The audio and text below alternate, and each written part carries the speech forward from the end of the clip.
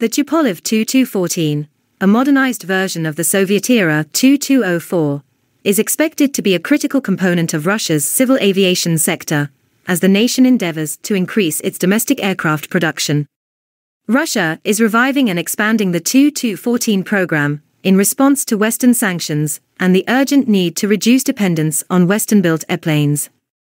Several significant developments have been implemented, including the retention of a three-member cockpit crew, a planned annual output of at least 20 aircraft from 2027 to 2028, and a renewed emphasis on cargo variants. A.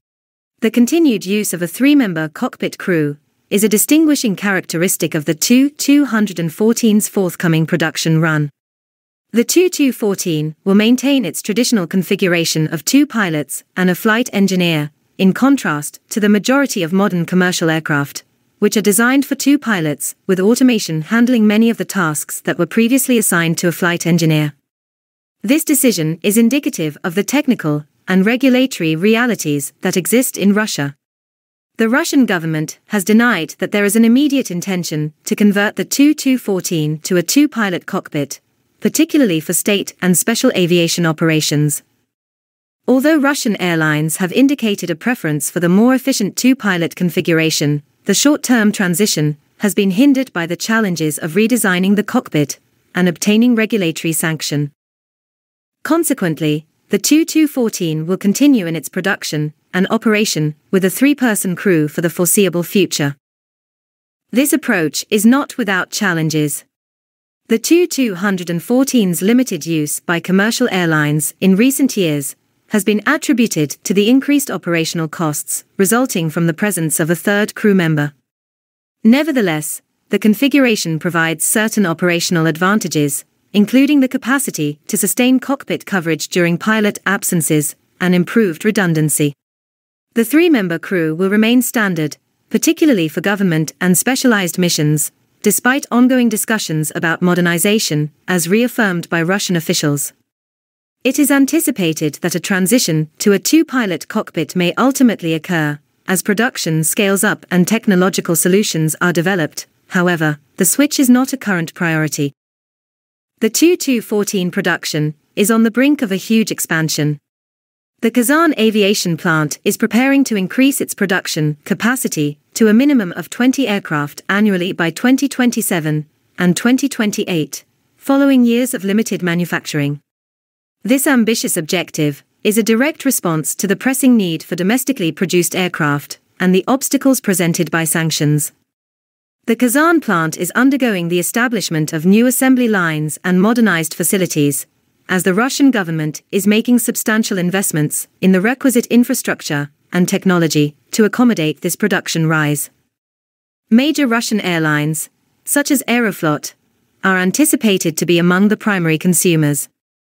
The Tu-214 has approximately 30 unit orders currently, and long-term demand is anticipated to be even greater. The emphasis on cargo variants is another critical component of the Tu-214's revival. The demand for cargo aircraft that are specifically designed for this purpose has experienced substantial growth in both Russia and its allies. The Tu-214 is ideally adapted for freight operations due to its long range and rugged design, which enable it to compete against other Western freighters in terms of operational flexibility and payload capacity. The development of cargo versions is a component of a more comprehensive strategy to address the growing demand for dependable air freight solutions particularly in light of the ongoing evolution of global supply chains. The Cargo Tu-214 will also benefit from the ongoing process of localization, as Russian and Belarusian suppliers will replace imported components to assure operational independence. The Tu-214 is currently undergoing modernization, with a particular emphasis on the substitution of foreign-made avionics, navigation, and safety systems with domestically produced alternatives. This change is essential for both the passenger and cargo versions of the aircraft, as it mitigates vulnerability to external pressures and ensures compliance with Russian certification standards.